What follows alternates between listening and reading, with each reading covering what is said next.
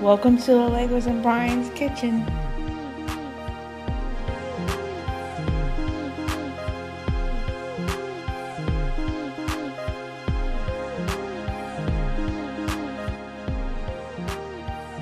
Hi everyone. Um I'm getting my food prepared for today.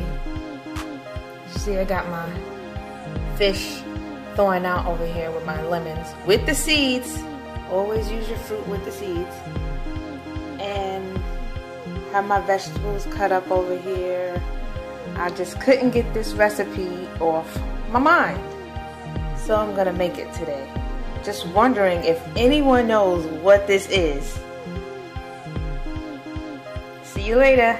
I might make a video while I'm cooking it. We'll see. Bye. Here we go, y'all. Frying up this fish. Sauce for it. If you don't guess it by now, it's called escovitch fish. And it's gonna be so delicious. I can't wait.